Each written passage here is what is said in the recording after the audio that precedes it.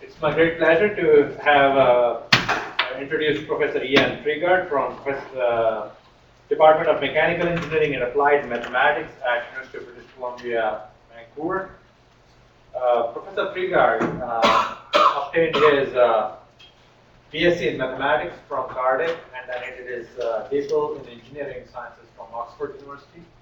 Has had several positions, both academic and industrial, worked at Schlumberger and also uh, in Austria before joining uh, the uh, of uh, faculty in University of British Columbia. And uh, he works, he is on actually several editorial boards, including Journal of Non-Newtonian Fluid Mechanics, Journal of Engineering, Mathematics, Meccanica, and Advances in Mechanical Engineering. My introduction to Frigaard's work was when I started looking at, uh, I joined the Petroleum Engineering Department in 2007, and I started looking at, my background is fluid mechanics. I want to look at what kind of petroleum engineering problems are solved in fundamental level of fluid mechanics. First thing that I'll do is look at JFM papers and physics of fluid papers. And one of the key people that came out and like looking at very few guys in petroleum engineering types of applications would publish in those uh, uh, fluid mechanics journals. So Frigaard's name came up, and I started looking at uh, primary cementing job analysis there, and that's what I thought would be a very good problem for one of my very first uh, master's students, and in fact turned into second master's student, uh, to do CFD for, and Mohammed kind of inspired by Frigaard's work, so it's a pleasure. So please join me in welcoming Professor Frigaard.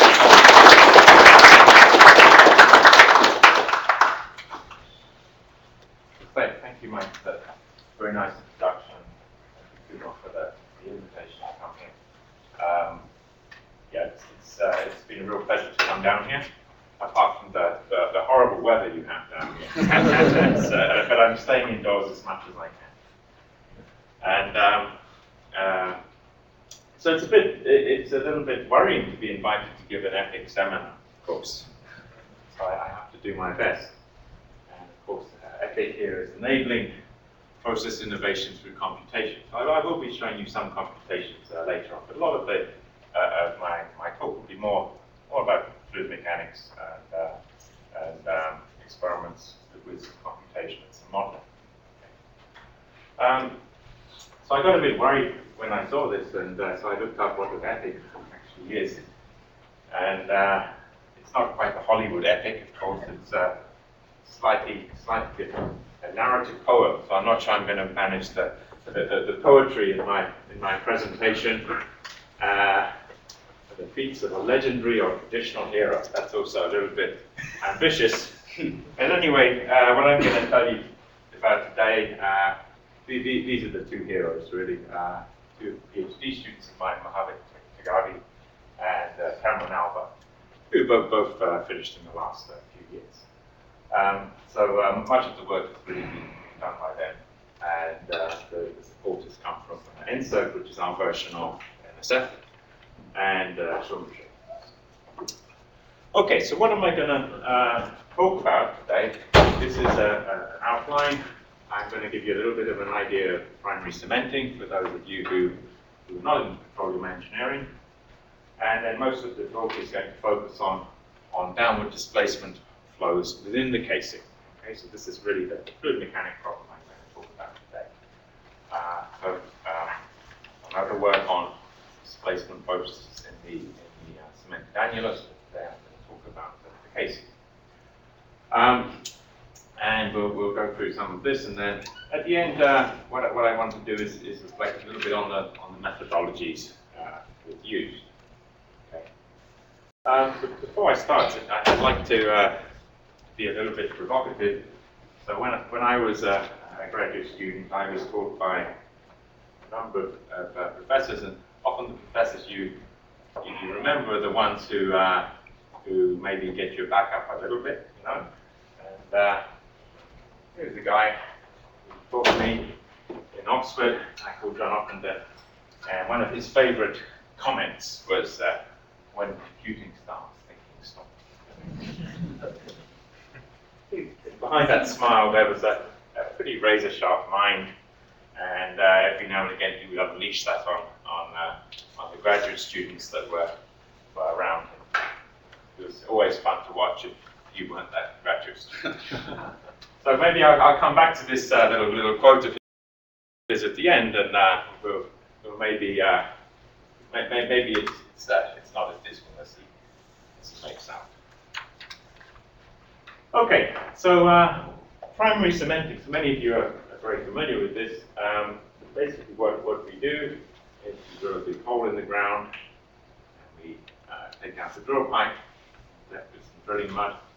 We push in a steel casing and joints, and then we start to pump a sequence of fluids um, inside the casing and around the outside. Okay, so maybe we start first with a, a spacer fluid or maybe even a wash in front of that. Then we pump uh, one or more slurries, these go down to the bottom of the well, back up the outside, and it ends up just like that, perfect. And uh, and then you, you move on to, to drilling the next the next set of the well. Okay, so that's the idealized um, version of primary cementing.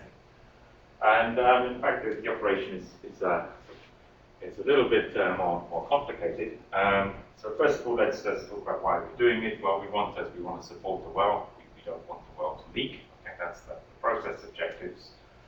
Um, so uh, the, the leakage is really to, to keep the productivity high. Um, and uh, another objective when you're doing it, which is more recent, of course, is you want to maintain well control, and that's uh, in a sense that's, that should be a given during primary cementing, but as, as we recently saw, it doesn't always work out that way. So where's the fluid mechanics in this in this process? So if you come back here, this is a this is a, a pipe geometry on the inside, and this is a, an annular geometry on the outside. Uh, you can see there are two displacement geometries, the, the pipe and the annulus. And in the casing, it's at the, in the, pipe, it's going down, and in the annulus, the, the fluids are coming up. And uh, the fluids we're pumping are, have, different densities, different rheologies. And the other issues are the geometry is quite variable, the inclination of the well can vary. Uh, the, the casing is often eccentric, so it's always eccentric. Um, and the, but the geometry itself is quite long and thick. It's a, it's a hydraulics type problem. And the, the next complication is we deal with a number of different flow rates in, in the process. Okay, so flows go from laminar to turbulent. And um, in, in general, the, the, the turbulent displacements tend to work a bit better than the laminar displacements. So, so the area I've worked in mostly is, is the laminar displacements. So um, some of the issues, these are, these are really issues, I, I, I guess, uh, uh, from a Canadian perspective, well, we're, we're drilling uh, typically about 10 to 20,000 wells, depending on the year, and that mostly in Western Canada. Uh, a large number of these have pressure at surface. So what that really means is once you once you've finished the cementing and you look at the, at the surface, some way gas has percolated to the surface, or could be another liquid, but uh, typically gas. Okay, so they're not necessarily all all leaking, uh, but there, there's definitely pressure at surface. Okay. Um, and it's very variable, which kind of indicates that the process is not really well well uh, well engineered. Okay, so one study in 2002, you can see a, a, wide, very wide range of, of, of defects. Um, so why is this? Well, I, I, think part of it is, is really due to various uh, management issues about the, the, position of cementing within the industry. Um, and I'm not going to talk too much about that. But basically, uh, you know, the quality evaluation isn't very good, and often the people who are who are um, who are performing the cementing job, you know, it's, it's, a service company, and the person who's contracting that um, not the same person that the, the company who's going to experience the loss in production later. Okay, so the positioning of, of cementing is, is, is, I think, poor in, in business. Okay? I think that's that's a, a, key point why why the, the industry isn't better regulated. Um, but for me, it's just a fun fluid mechanics problem. Okay? Um, so this is what it what it looks like. Um, it's a fluid mechanics problem that uh, is, is not uh, not done in the lab. Okay, it's uh, say big trucks, pumps, and toys for boys. This is the the characteristic of much of the oil industry. And uh, somehow is often done at night. I'm not quite sure why that is. Um, and uh, these are the, the types of fluids we're trying to uh, displace in the annulus. So it's a pretty dirty drilling mud. This is a cleaner one. And there are various bits of machinery that go down the well. Okay. So what does all this mean for um, the fluid mechanics perspective? Well, it means that we are preparing the fluids, okay, often in remote areas. Okay? They may be designed in a clean lab environment, but where we actually prepare them, you know, we've often got local water. Um, the suppliers are not uniform um, across the country, so um, but pretty often we don't uh, we don't really have a good control of, uh, of what's being pumped down the hole. Okay, and maybe uh, you know it's pretty clear we can get the density of what we pump down. Okay, but the rheology, you know, I, I, I don't think we really we really get the rheology that we think we get from designing the fluids in the lab. Okay? And uh, of course, the people who may design the job are not the ones who are, who are pumping the job. So it's not the most interesting uh, job to do. Um, and then there's these inherent uncertainties. How big is the well? How hot is it that down hole? Uh, the properties of the fluids currently in the well. Okay, the mud's been conditioned or not. Um, and so we've got all, really all of this stuff is, is the, the, the problems in thinking about this as a, as a nice, clean fluid mechanics problem. Okay? And the other problem is that whatever we, we, whatever we do in terms of doing research on this problem, the solution has to come down to fit into the process design. Okay? The process design, from a fluid mechanics perspective, is I'm going to pump fluid one, this volume, these properties, this length of time, at this rate. Okay? So, you know, we, we can do a lot of fancy fluid mechanics, but if the answer at the end doesn't somehow fit into this into this um, then it's going to be very hard for for um, industry to, to, use anything you're doing. So it's kind of an uh, interesting perspective, but I think you need to really uh, think about the problem you're solving and, and who's going to use it. Ian, could I just, because I'm not familiar with this at all, say a little bit more about what's leaking and where? Is, is it that in the annulus, at the surface, around the annulus, there's gas leaking, there's fluid leaking? Uh, What's, Yeah, so what, I- mean, it's really, uh, it could be a, a variety of things, but it's, it's liquids leaking. So the idea is that when you're finished here, okay, what you would like is that the cement has displaced every other fluid, okay? And so you'd like that the, the cement forms a, a hydraulic seal. Okay, so in the, in the formation here, you, you may have strata, you know, of gas, oil under pressure, and uh, it's, it's a bit like uh, you know, puncturing a balloon. Okay, if you if you're going to connect uh, what's happening down here, the reservoir, with the surface, then there's a there's a pressure parameter to, to the surface. So we don't we don't you know it, it's typically it's gas, okay, because you know gas migrates the easiest. Um, but uh, it, it could it could be other other liquids as well. And it just depends on, on the situation. Um, okay. Okay, so when, when we start to do uh, uh, fluid mechanics, I, I think uh, I think we have to be careful about what we what we do. And I, and I think really, um, you know, there, there, are smart people in the industry. Um, you know, maybe they're not the ones pumping pumping the jobs day in day out. Um, uh, but really, uh, you know, the people who are going to design these jobs have to have uh, an understanding of the, the, fluid physics, which is which is robust under all of this uncertainty, okay, and is coded into a simple enough way that it can be incorporated into that design. Okay, so that's a, that's a key thing. Um, and I say here that, that you know, cementing companies really should not run 3D CFD code over the scale of the well wellbore. So I appreciate this is a computing uh, seminar, but this would be the, the, worst thing in the world to do. I mean, because just, just consider the amount of data you, you've got and the time it's going to take you, and you're, you're really trying to design, a, a, you know, basically a hydraulic pumping schedule, okay? And so you, you, have got to somehow coarse grain that, um, that flow, okay? You can't, you can't really deal with the, the full complexity, okay? So there's definitely a place for doing 3D CFD, but it's not on that scale, and it's not in the company when you're designing a job. Okay. Um, okay, so let's move on. Okay, so uh, what I'm going to talk to you about is, is the, the problem in the casing. It's what we call a downward displacement, the pumping from the top downwards.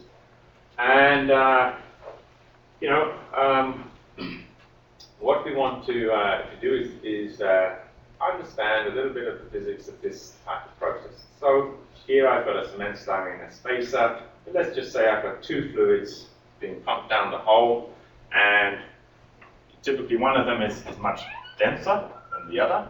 Okay, so there's a tendency for the heavier fluid to pass through the, the lighter fluid. And what we'd like to do is understand some of the fundamentals of this process. Okay? And we want to do that in a, in a situation that's complex enough that it's got some relevance to the process, but simple enough that we can understand that. Okay? And so when we, we first look at it, the, the, the first thing we, we, we see is uh, uh, there's going to be a lot of a lot of parameters. Okay. So we go to the simplest, uh, what you might call hydraulics style problem, okay, which would be a long section of pipe. Uh, you know, say maybe 10 meters or, or, or uh, you know, 20 meters, that kind of length, you know, and uh, or, or in feet. Fine. We're nominally metric in Canada, but uh, but we still yeah, we measure we measure in meters, except in uh, in the oil field and in and in uh, lumber, where machines are still in in uh, in imperial.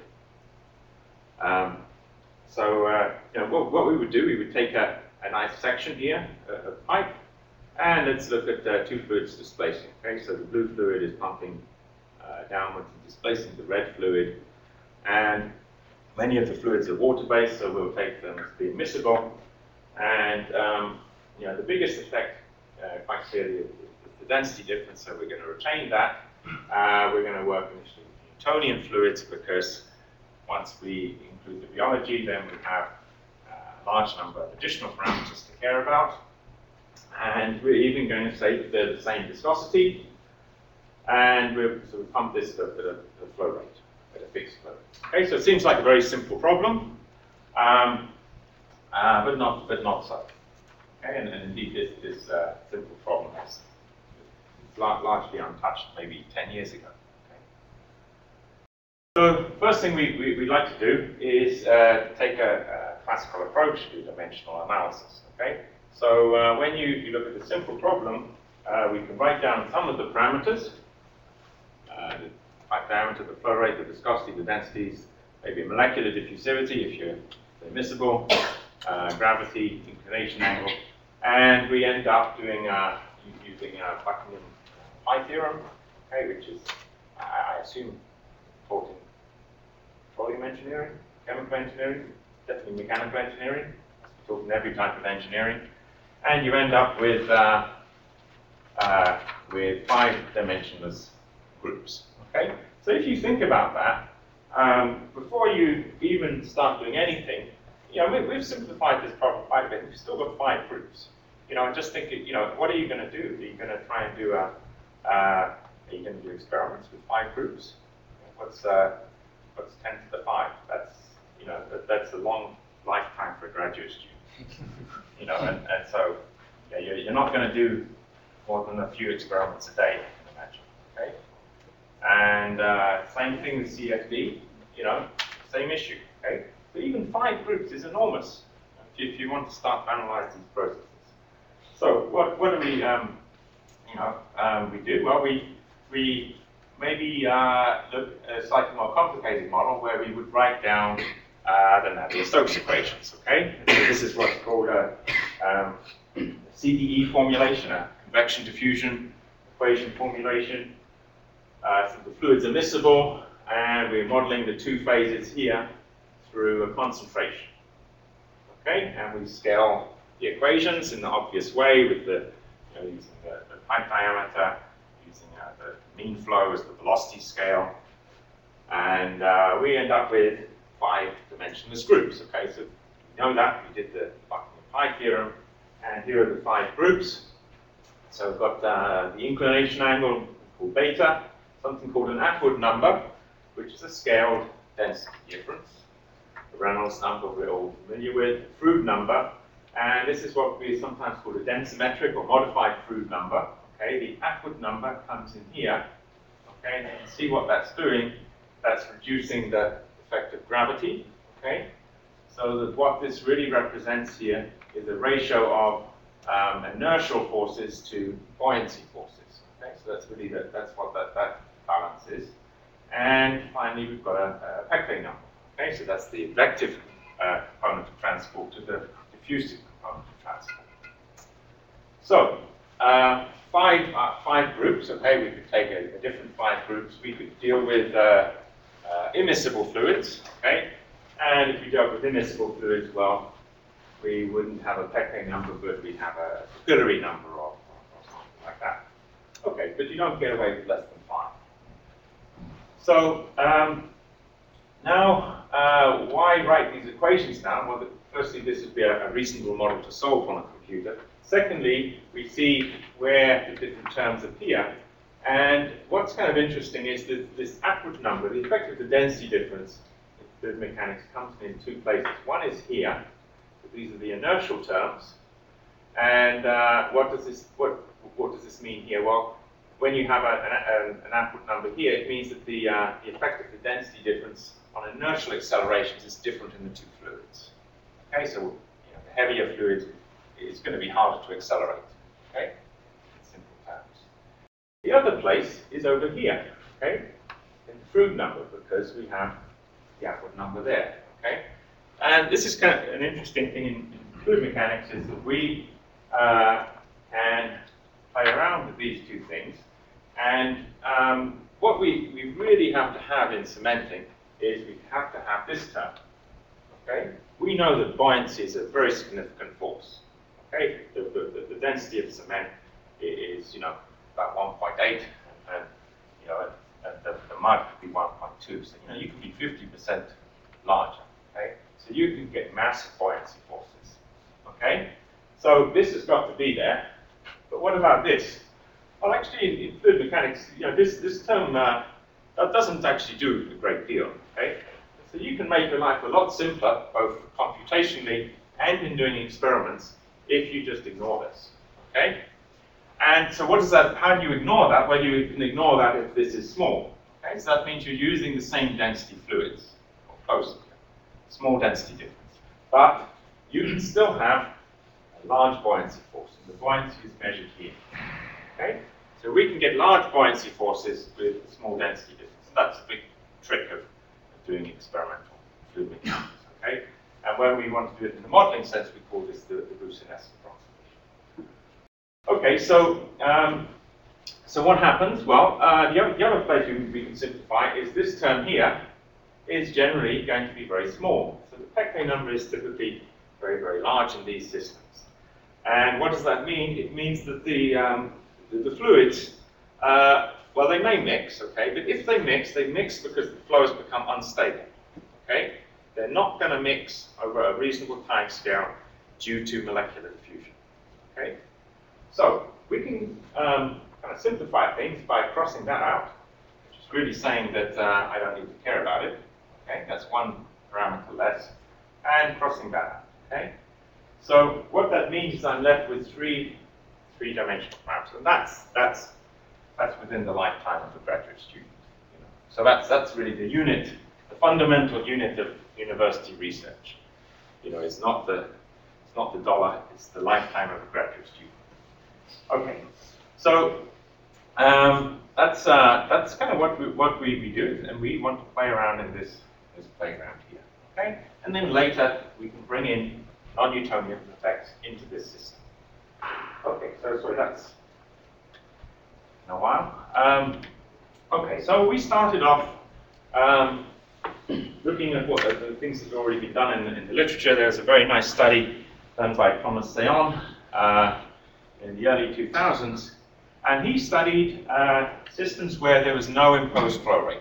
Okay, so what he did, he had a, a pipe, and he would close the ends of the pipe, and would have a heavy fluid on the top and a light fluid on the bottom, separated by a gate valve. And at t equals zero, he would open the gate valve. Okay, and watch what happens. And this is from, uh, from his experiments, and I'm going to show you the, the, the two main effects. Oh, I need.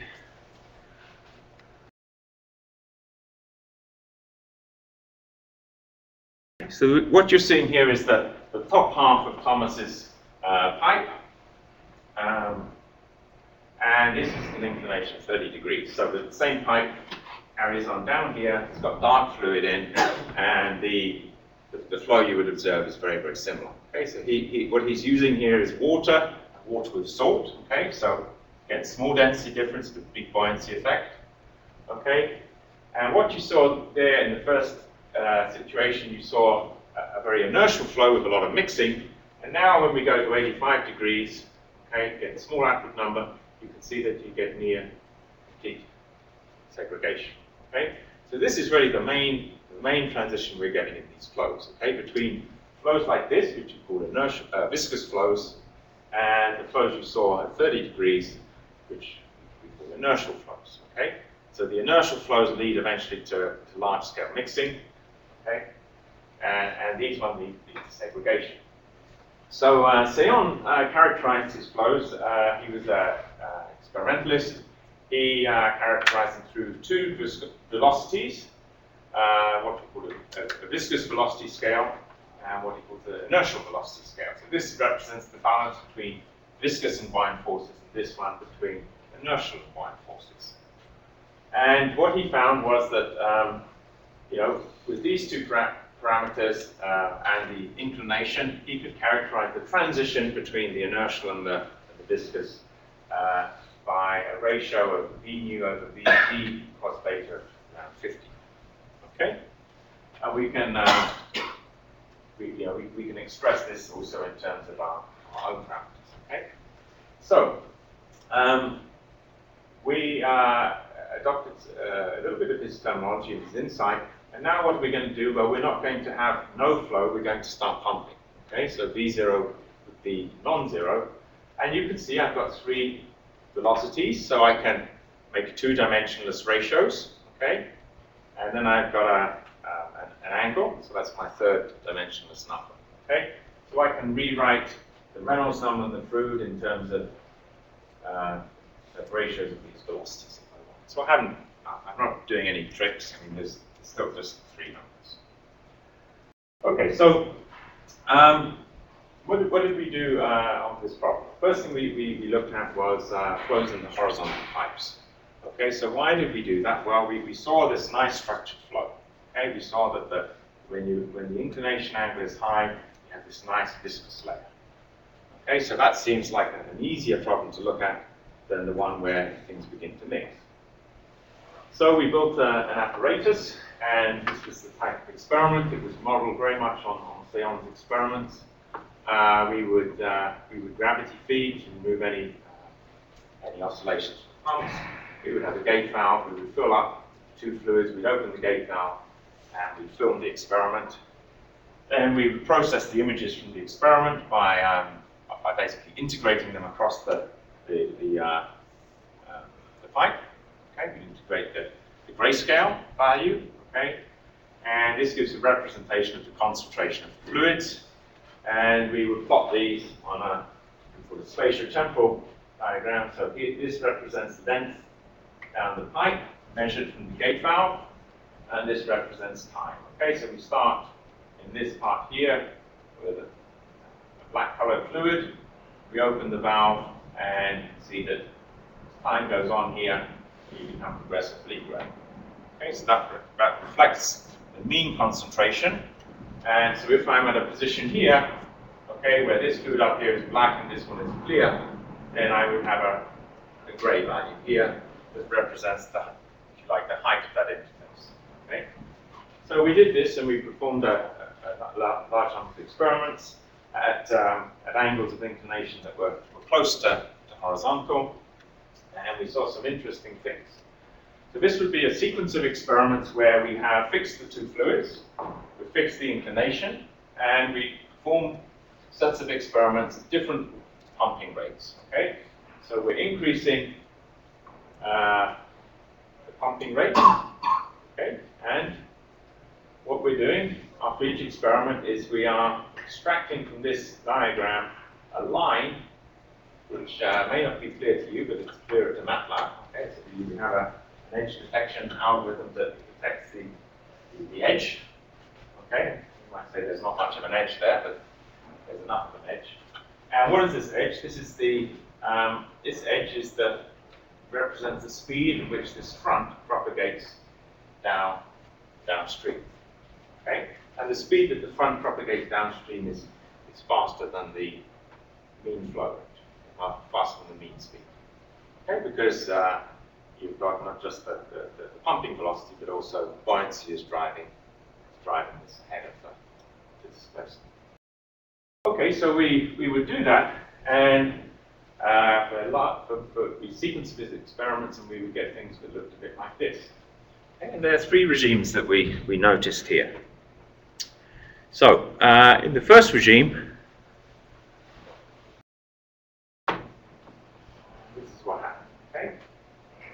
So we have a relatively low velocity, and um, so the flow is dominated by buoyancy. You saw that the, the, interface kind of stretched out initially, and now and then suddenly it became quite inertial mix. Okay? This is the second regime, okay, so slightly higher flow rates. And what we're getting here, okay, we had a slightly unstable thing to start with, but now, as this displacement carries on, you can see that I've got this nice clean stratified interface. Okay? And in the third regime, this one's pretty quick. Washes out. Okay?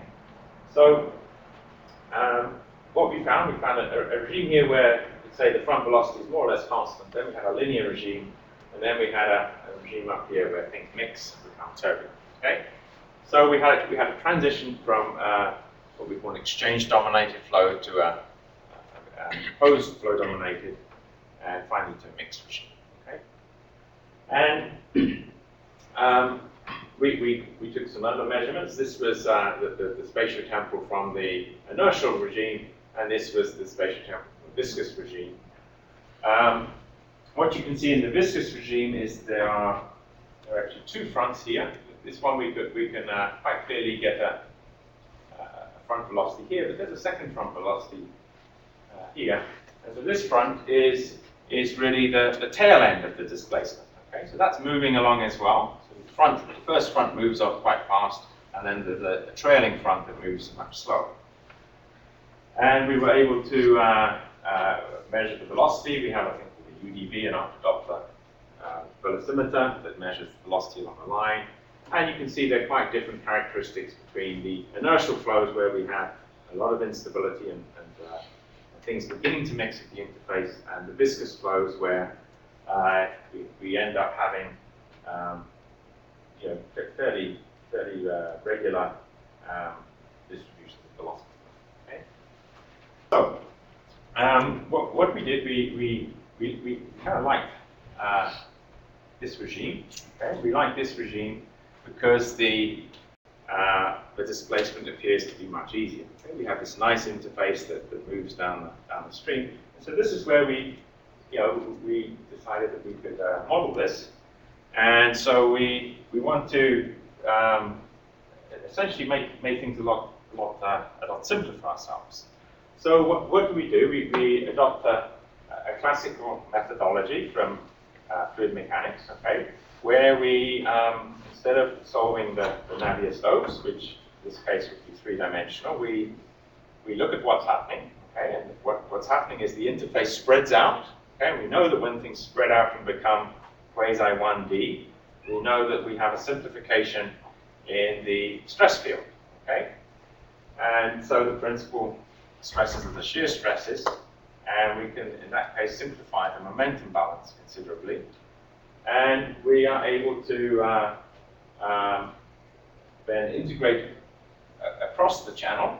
Okay? This is uh, the same approach that we use in, in, um, in doing problems in tribology, okay, or problems in, uh, in thin film flows.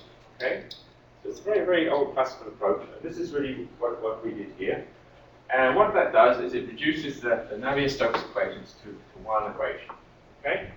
And this is, in this equation, alpha here is the, the volume fraction, the area fraction of the heavy fluid. Okay, so we have a, a pipe, okay, and as the, the flow stratifies, the cross section just looks like this. Okay? And according to this area fraction, we're able to make an approximation to the velocity field. Okay? Using that velocity field, we're able to, okay, so, so alpha here depends on the height, which is, which is here. Okay? And using that, that geometry, we're able to approximate the velocity field and work out uh, the, the, volumetric flux of, flow, of fluid. Okay, so this is the flux flowing through this, this heavy layer. Okay? And this, uh, when you derive this equation, what are you doing? You're assuming that you have a balance between the buoyant stresses and the viscous stresses, and that simplifies things down to one uh, conservation equation, and the equation is governed by a single parameter, uh, chi here, which measures the, the difference between the viscous effects due to the imposed flow and, and buoyancy, okay, and buoyancy in the, in the axial direction. So it's kind of nice. We, we, could, we could have a one parameter system, and now we could solve this. Okay, so this is a, an efficient way of, of doing the computation. And this type of equation tends to have interfaces that spread out same way that the experiment does. And we were able to um, predict from this the, this the velocity of the front, okay, by solving this equation. In fact, you even uh, you don't even need to solve the equation to predict the front velocity. And we were able to predict a critical value of chi, uh, at which um, instead of the, the front going just downstream, uh, part of the front would move back upstream against the flow. So we could, we could separate um, we could separate the, the, the observation in that way. Okay, so this is nice. We, we now have a prediction of the dynamics of one of these regimes that we, we observe. And we took our experiments and we um, plotted the front velocity divided by uh, chi uh, and uh, the, the mean flow. So scaled with the viscous velocity scale. This is the front velocity scale for the viscous velocity scale. And what we find is that most of our data here, uh, in this, this regime here, where, where things are viscous, collapses nicely onto this black curve. And that's the, the curve of the front velocities that we can predict from this, uh, this lubrication model that I just outlined. Okay? Um, down here, you can see that things don't fall onto the curve very well. And these are really the inertial flows, okay? So there we had to um, fall back to more basic things where we would say, well, these are inertial, so the proper scale the front velocity should be the inertial velocity scale. And we were able to fit this to a, um, a, a quadratic expression, the Froude number. And again, the Froude number here uh, is inertia versus buoyancy, so this seems like the right parameter to use for these flows which are inertial mixing. Okay? And um, we, when up here we were able to fit with uh, the, the lubrication type model. Okay? okay, so that, that's kind of a, um, a, a snapshot of, of, the sort of methodology we're trying to use. Okay, so we use the, the experiments or we would use computation. We understand roughly what's going on physically. And we try to pick out these regimes where we are able to do something simpler. Okay? And eventually what happened was we, we were able to uh, put all our results onto one uh, plot here. So here I have the Froude number, here I have uh, Reynolds cos beta divided by the Froude number. You can think of this as flow rate on the on the x-axis. This one is buoyancy. Okay, that's that's a sort of representation of what it is. And we were able to categorize our our results so that um, in each of these segments we could uh, describe what was happening. Okay, but we could also give a very simple model that, that would predict the front velocity. Okay, so for example, this one an inertial exchange flow, this one would be a, a temporary backflow, the viscous uh, exchange dominated, uh, and, and this, this one was uh, what we call imposed flow dominated. Okay, so we had these categorizations of that, maybe not particularly important to understand each one. Okay? But the main point of this is that in each case we were able to provide a, a model. Okay? Um, so, uh, we did a lot more work on, on these. Um, these are some of the things we, we studied. I won't show um, many of these. I'll talk a little bit about the CFD in a minute. Um, but th- that really was our study on, uh, on near horizontal. uh, flows, Okay? So the next thing we did, we did was we, we moved on to, uh, uh, to, to higher inclinations. Okay? So higher inclinations, uh, um, you know, a, a lot of different things begin to happen. Okay, so so um, again, we worked with, a, with the same flow loop. We modified it a little bit, and um, we tried to keep to a similar range of, uh, of parameters here that would again allow us to get large buoyancies. Okay, so large, large buoyancy forces, but using fluids with relatively small density differences. Okay, so this Boussinesq approximation. So the same idea, and now this is not just mounted on a hydraulic jack, we have to uh, do some more, um, some more plumbing to, to get things connected up. Um, and uh, we ran probably a few hundred uh, experiments in this, in this, uh, these inclinations. That's what it really looks like. And uh, my lab has no windows. It's pretty miserable being my graduate student. and uh, so what happens? Okay, so it's the same experiment, okay, same setup. So we have the same three uh, velocities, okay, and the inclination, okay, or we have the Reynolds number, the Froude number, and the inclination. Okay, so same, setup. Um, well, the phenomena you observe are quite different. Okay, we, go from uh, these nice stratified flows down there when we're near the horizontal, and as we increase the inclination, well, we get progressive amounts of mixing. So it's things, you know, around 70 degrees here were the ones we, we called inertial. Okay, but now you can see that the, the mixing is beginning to, to go across the channel and become increasingly complete. And once we get up to around here, there's complete transverse mixing. Okay, so that's the main type of transition. So we, uh, um, we did the same kind of things, and uh, what we found now was this edge detection worked pretty well at the high inclinations and maybe at things for things like this. But once you begin to get up to these, um, to, to these um, uh, uh, inclinations where we have a lot more mixing, then the edge detection doesn't work particularly well.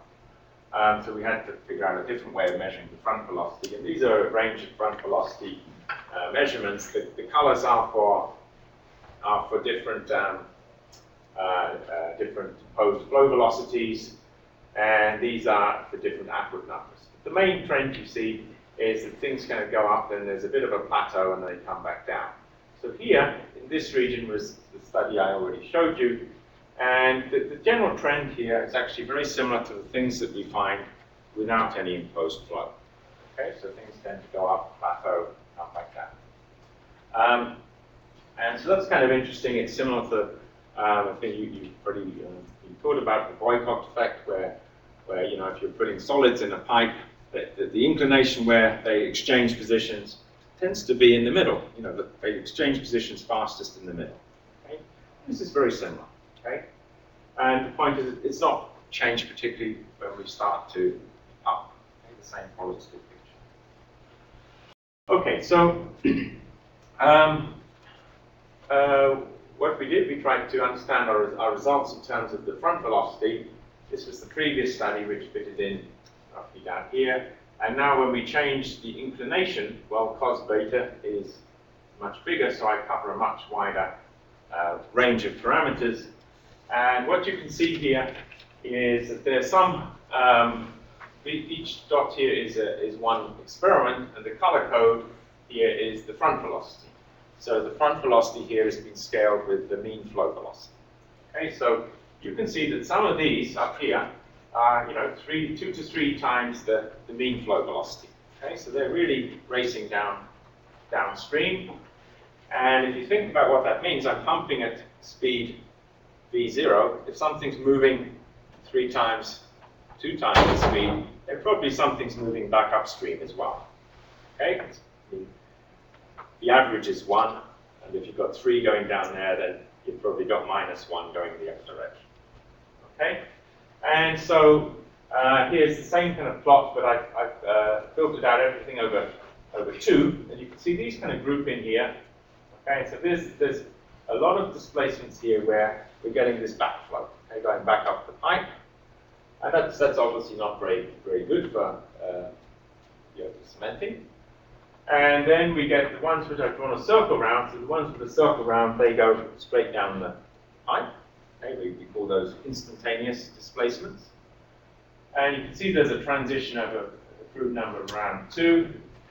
Um, and uh, if you come back down here, uh, many of these were, were viscous, exactly as we found in the other study. Um, and the other thing is, you can see that as we come up here, around here, we get to values of around 1. So that means that the front is moving at the, at the mean flow speed. Okay, so these tend to be mixed, and they're very effective displacements. Okay, so you might think mixing is bad, but in fact, mixing is good. Okay, so, so when you when you mix in displacement, then uh, well, then you displace. Okay? Uh, and if you don't mix, then you have this opportunity to really spread out. Okay, um, so yeah, going back to the mixing, uh, so if I come to these experiments up here where we're getting a front velocity close to 1, this is what's happening, okay? Uh, this is where we're getting transverse mixing, okay? So what does that mean when we say the mean velocity is 1? Well, the mean velocity at the front is 1, but things are still, still spreading out, okay? And they're spreading out through this mixing and then through the process of active diffusion.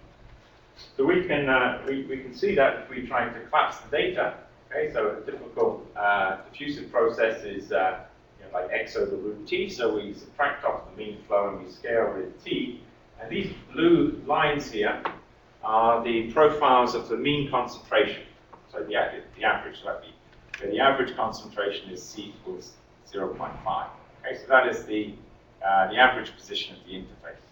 And you can see that for many of them, they, they collapse very nicely onto this black curve, which is a, a, a fit to a complement error function. Okay? This is a bit crude, but, but out of this we can estimate um, the shape of the, of the, curve, we can estimate a, a diffusivity. Okay? And we, so we put out this diffusivities, these are a couple of values, and I can show you, that you know, I would say uh, about half of the data works very nicely in this way, and then you get a, you get some things that just don't work. They're neither diffusive nor effective. Okay? So there's of in between. But this is, a, again, a very nice characterization because now if I've got a, a, a, diffusive process and I can characterize the diffusivity, then again I've got a, a type of model which is 1D, okay? And I, and I could predict quite quickly what's happened to the process, okay? So I don't have to solve the full 3D problem. I can, I can, uh, I, I can use this diffusivity and do a nice 1D model. Okay, so uh, we, we tried to classify the, re the regimes, and this is the type of thing we, we got. We got viscous regimes down here, where we had this simple lubrication model. We had these intermittent inertial regimes here, where we uh, had this fit based on Froude numbers, and we had to modify that because we had a much wider range now of, uh, of, uh, of data. And then finally, we, we had a, a, fully diffusive regime up here where we managed to, uh, again, correlate something for the, for the diffusivity. Okay? So, um, this, this was really our, you know, our, our experimental study. So, um, you know, what, what that really led us to was a, was a, a 1D model for, for the process. Okay? So that's kind of nice. Uh, so now we, we, we also wanted to do some computational work. And um, uh, the problem with doing computational work for exactly this problem is that if we're going to do exactly the same flows, well, they're, they're all 3D, okay? And um, the, even for the, the lab scale experiment that we're running, uh, we were roughly 200 diameters long, okay? And so to do a 200 di- diameters long three-dimensional pipe flow with two fluids it, it is, is going to be complicated, okay? It's going to take a long time. And so we, uh, um, you know, doing the, doing the simulation here, I, I think even if we spent the time to try and parallelize the code, would have been slower than the experiment, okay? And, um, and then there was another question of what we were going to do with all the data. And I don't mean that in a, in a poor way, but, you know, you generate the data, you've got to interpret it. And uh, um, we, we just weren't ready to do that. Okay, so, so instead what we did, we, we used two-dimensional computation. We've used them quite extensively. And so we moved to a plane channel. So a channel is not a pipe, okay? But um, what we hope to do by, by doing this, well, uh, the flows are similar. I mean, they're both shear flows, they're both displacement flows. We expect to get very similar characteristics, okay? And so partly we're looking to benchmark our understanding of the pipe flow by doing simulations, okay? Partly, uh, the type of simple models we've produced for the pipe, well, it should be easier in a plane channel. Okay, 2D model. So, so again, we, we want to really uh, benchmark our, our understanding of this process. That, that's really our motivation for doing um, uh, simulations. Okay. So the code we use is, is something called Pelicans. Um, and this is a bit like OpenFOAM. Okay, it's, it's, it's, any of you who've used OpenFOAM, it's a very, very similar type of, of structure, okay, where you can build up uh, solvers for, for Navier-Stokes systems. Um, we use that CDE form, formalism, the concentration uh, diffusion equation that I, sh I showed earlier. Um, it's a mixed finite element finite volume scheme. Um, and uh, we used it ma- mainly because the people we, uh, we, who, gave it to us had already implemented a lot of the non-Newtonian models. Okay, so we, we didn't have to do too much work uh, uh, for these things, even though the things I've shown you actually have have nothing to do with, with non-Newtonian fluids. Everything I've shown you is Newtonian. Okay? Um, so we, uh, we, we check this, uh, we, we use this code, um, and we, we did a fairly large computational study just to, to cover the same type of range as the, as the experiments. Okay? So I'll just show you some examples of this. This is a, an example of things that were close to horizontal. Um, here's different Atwood numbers. Each of these um, is an image of the concentration, so the blue fluid displaces the red, uh, 25 seconds after the start of the displacement. So you can see here, you know, would be the initial position of the two fluids. Um, each panel has a different inclination, and, and as you go down any panel, you've got a, an increase in the mean velocity. Okay? And so what you can see here uh, is you, you get a very similar behavior qualitatively as before. We, we go from uh, things down here, which are largely viscous, okay, where, where we have a, a fairly well-defined uh, interface, uh, to things up here, which are largely inertial mixing.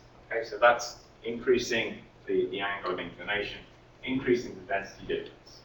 Okay, part, part, and uh, uh, some, some minor, minor effects of, of velocity. Okay, so the, the aspect ratio of these is not, not one to one. This is one, and I think this is, uh, I've forgotten. It's either, it's either 25 or 100 units long. Okay, so I think the, the computations were done over 100 units, but um, I'm not sure if I'm showing 100 units there. I'm guessing it must be 20 something. Maybe it's 20, 25 units after the, gate valve or something. Anyway, it's, it's a long, it's, it's longer.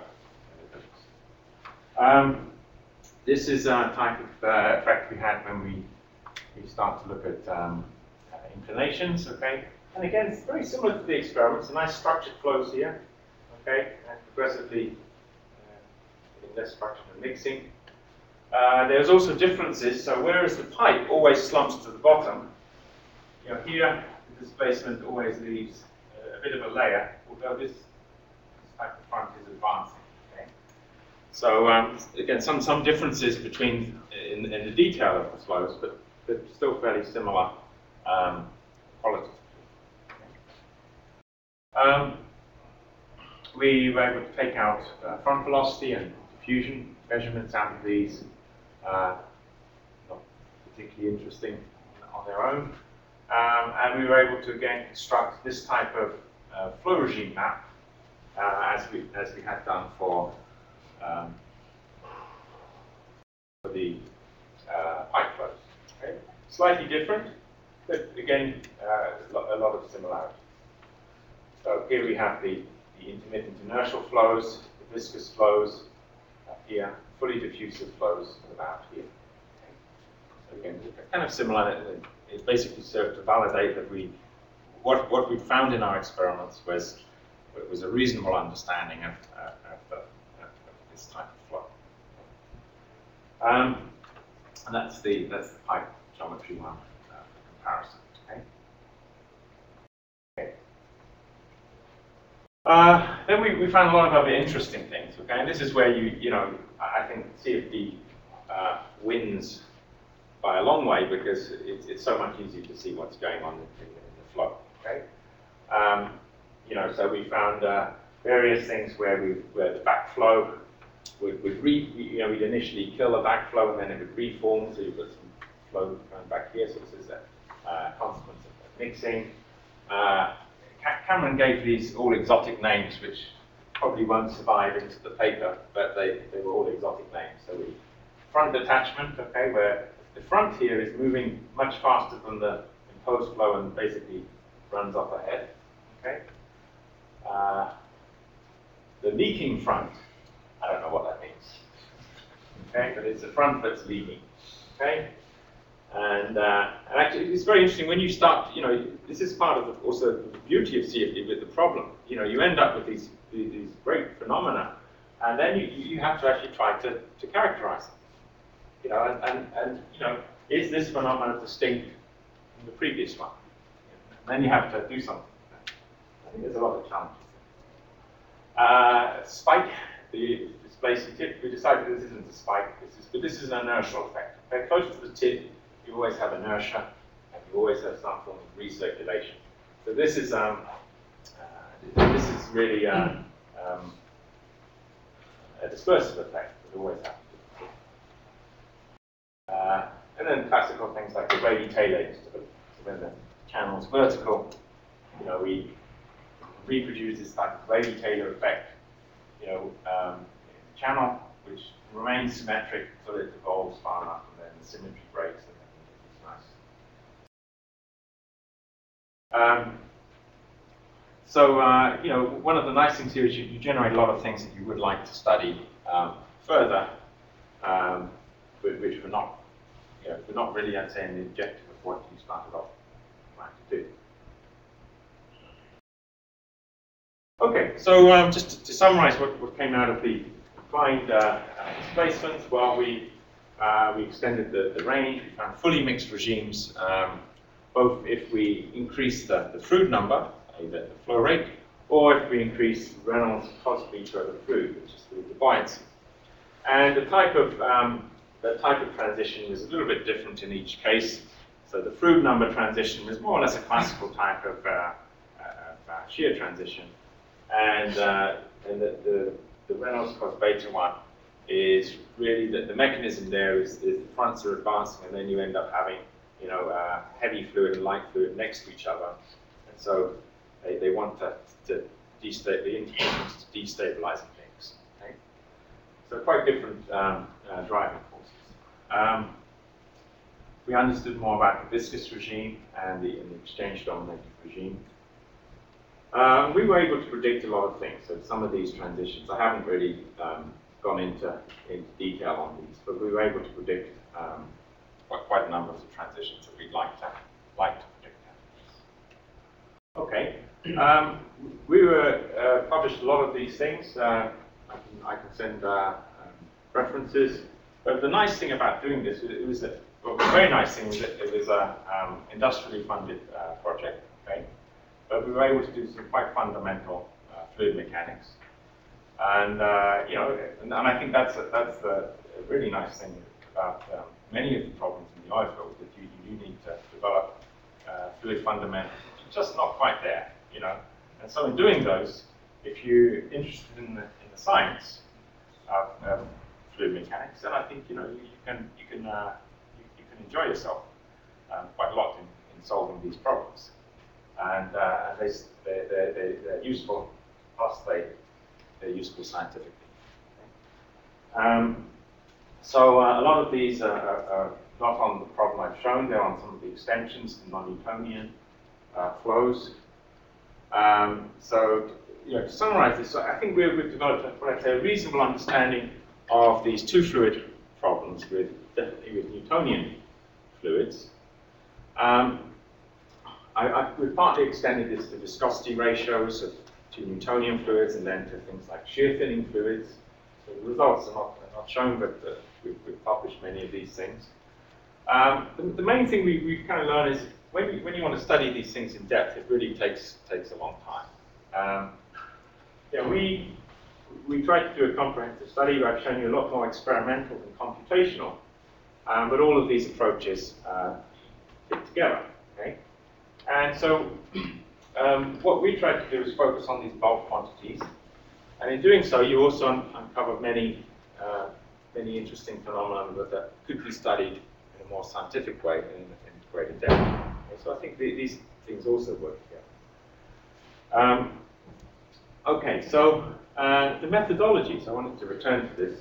These were some of the things we used. I started off with a very simple dimensional analysis, and I, I, I, I think that's that's the most useful thing, you know, I think you, know, you could ever learn is, is, to start with complex problems by just write down the thing in, whatever you're going to study.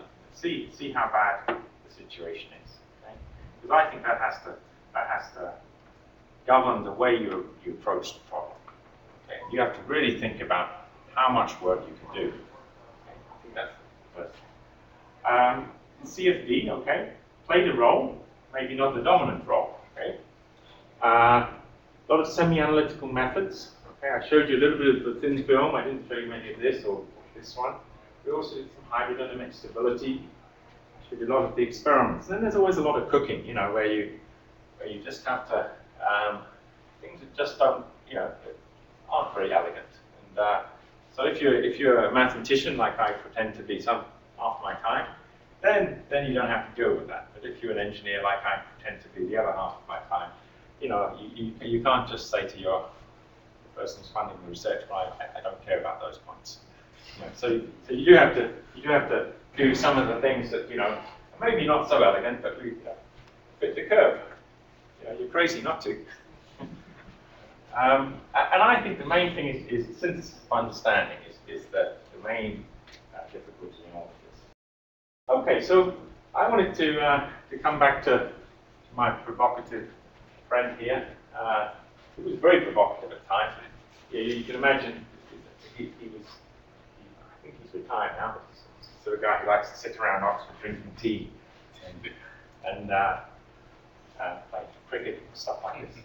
Anyway, um, first thing is the context. He said this around 1990, so that was when I was coming into graduate school, and um, uh, I, I, was introduced to computing at, at that time, and, uh, and, we were introduced on a, on a Microvax, okay, which doesn't exist, I'm pretty sure, except in a museum. And you know, this is the thing that's got a command line, and would tell you that your program wasn't running. You know, there was a problem, but it wouldn't tell you where it was. You know, and then you'd have to debug this thing write some more Fortran 77 and hit the button again, and and it, and it took a long time even to solve the Poisson equation on a square. You know, so um, and, and, this guy, you know, he, he, he came from a, a, a tradition of, of, applied mathematics you know, that dates back to, to G.I. Taylor, you know, in, in, applied mathematics and close, close relation to fluid mechanics.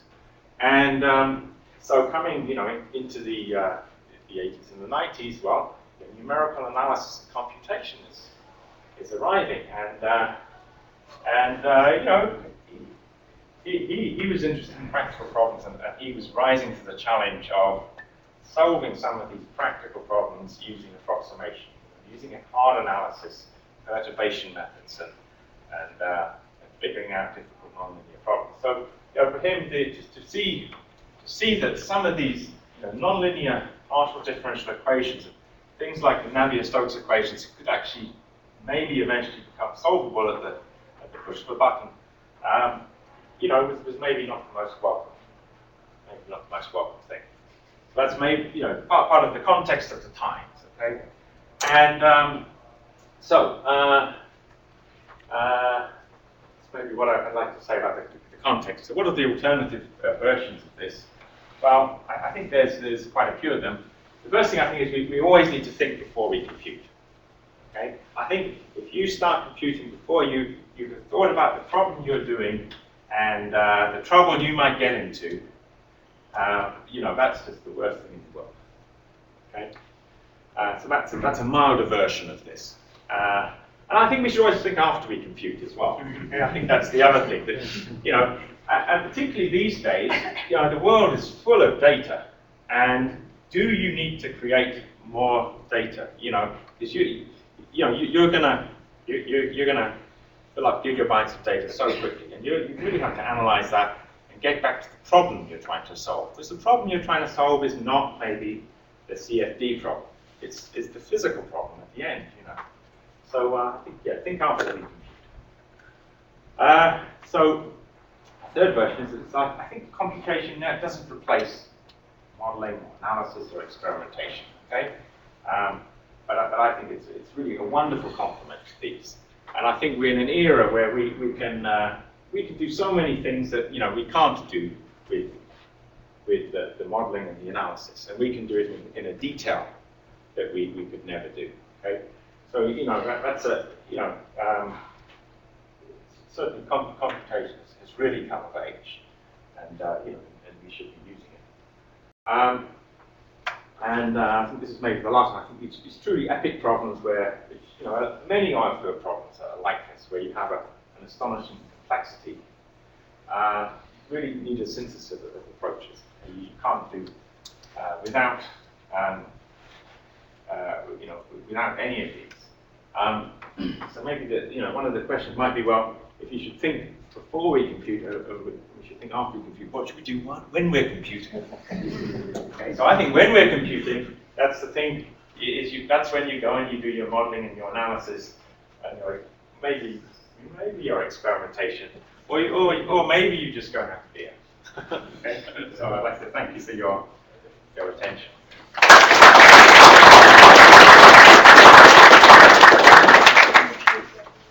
uh, right after the seminar. Thank you for a wonderful seminar. And uh, we have a, uh, before we do the question and